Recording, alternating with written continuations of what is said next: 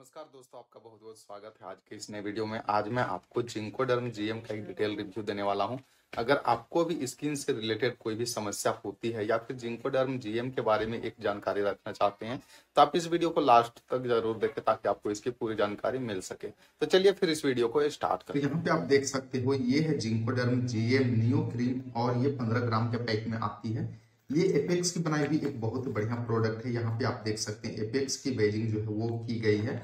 इसके अंदर अगर आप देखें तो तीन प्रकार के मोलिकुल जो है वो आपको देखने को मिलेंगे। सबसे पहले देखें तो कलोवेटा सोल और मिकोनाजिन तीन तरह के मोलिकुल जो है वो आपको देखने को मिलते हैं। ये क्रीम जो है, ये बहुत ही बढ़िया क्रीम है। इसके अंदर मैं आपको दिखाना चाहता हूँ किस तरह की ट्यूब होती है, अगर आप इसे खरीदते हैं तो। और इसकी प्राइस क्या है? यहाँ पे आपको तीन की ट्यूब जो है, वो आपको देखने को मिलेगी तीस टन से कुछ। और कैप यहाँ पे आप देख सकते हो। इसकी प्राइस की अगर हम बात करें तो फिफ्टी सेवन रुपीज़ इसकी प्राइस है, यहाँ पे आप देख सकते हो। यानी कि 15 gram fifty seven rupees price है। चल के जानते हैं कि इसका यूज़ हम कहाँ कहाँ पे कर सकते हैं और किन किन बीमारियों में इसका इस्तेमाल किया जाता है।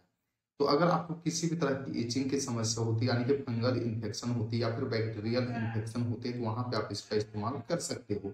दांत खाज खुजली में ये बहुत ही बढ़िया ढंग से काम करता है। बहुत सारे लोगों को स्किन में एलर्जी की समस्या होती है वहाँ पर भी आप इसका इस्तेमाल कर सकते हैं।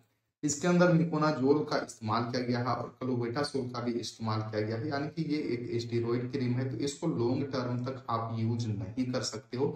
शॉर्ट टर्म के लिए ही आप इसका इस्तेमाल करें। और बहुत सारे लोग इसको एज ए फेयरनेस क्रीम के रूप में भी इस्तेमाल करते हैं, लेकिन ऐसा बिल्कुल से ना करें। आप इसको अपने चेहरे पे इस्तेमाल ज़्यादा दिनों तक ना करें फेयरनेस के रूप में, क्योंकि उससे आपके चेहरे में दाने भी आ सकते हैं रेडनेस की समस्या हो सकती है, क्योंकि स्टीरोइड क्रीम है, ज़्यादा दिन तक आप स्किन पे इस्तेमाल करते हो एक ही जगह तो आपकी स्किन छिल जाती है, और आपकी स्किन में बाल भी आ सकते हैं।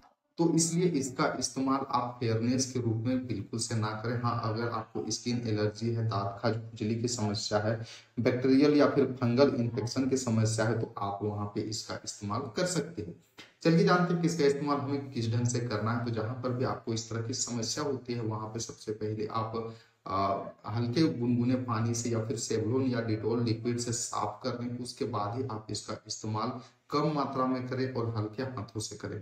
सुबह और शाम आप इसका इस्तेमाल कर सकते हैं दो टाइम और याद रखें कि जहाँ पर भी आप इसका इस्तेमाल कर रहे हो तो डॉक्टर की सलाह के बाद ही करें और शॉर्ट टाइम तक ही इसका इस्तेमाल करें। यानी कि अगर आपको इचिंग की समस्या या फिर एलर्जी की समस्या दूर हो जाती है तो फिर इसका इस्तेमाल बंद कर दें।